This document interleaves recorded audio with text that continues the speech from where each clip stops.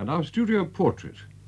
This week, the soprano, Honor Sheppard, is accompanied by Wilfrid Parry in a mixed program of songs, and here she is to tell us something about herself and the music.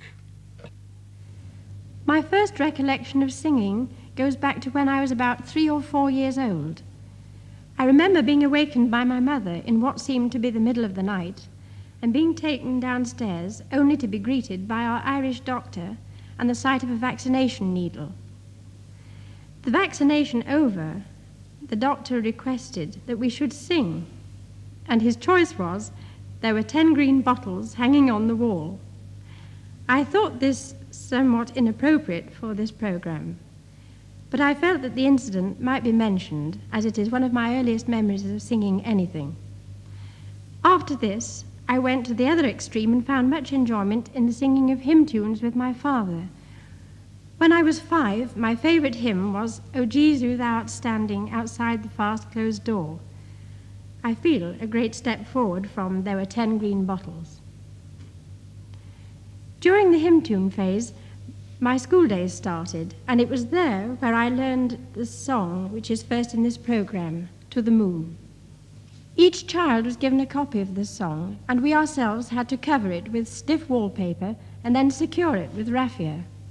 I am using this same copy now. For me, this song is very nostalgic as it brings to mind all the sights, sounds, and smells of kindergarten that lovely almond smelling sticky paste, those autumn nature walks, and the feel of new books.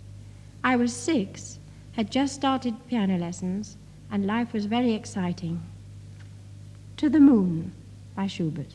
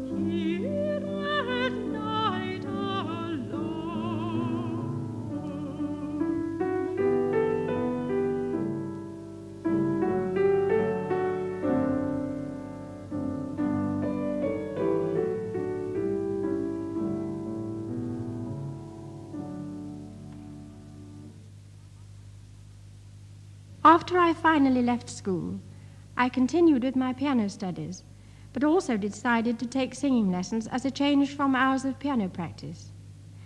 I enjoyed this new venture very much, but did not take it too seriously, as nobody, I least of all, had ever thought that I had a voice of either quality or quantity. This enjoyment lasted until one day my teacher told me, to my horror, that she had a singing engagement for me. I was to sing a group of songs at an informal dinner. Her final instructions to me were firm and practical. Honor, be sure not to start until the last coffee spoon has disappeared. I carried this advice to the engagement, but to my dismay, things were not quite as I had expected. The informal dinner was, in fact, a hot pea and pie supper, and my accompaniment not only the piano, but the hearty clatter of knives and forks. This leads me to the next song, which, although not the first of the group which I sang at the supper, was the first to bring about any lull in the gastronomic activities. Elizabeth Poston's Sweet Suffolk Owl.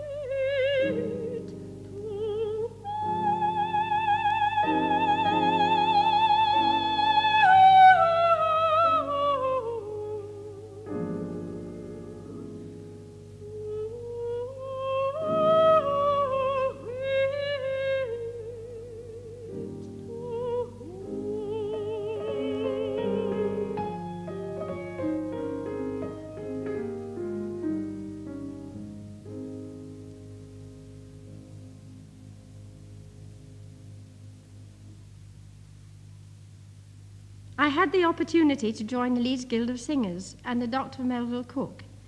It was during a concert with them when I had no more than a few notes to sing that the conductor Maurice Miles heard me, and to cut a long story short, after a kindly lecture and much bullying, I was eventually persuaded by him to try for a place at the Royal Manchester College of Music and to continue my musical studies there. This I did, and at the same time he offered me a number of engagements with the now gone but not forgotten Yorkshire Symphony Orchestra.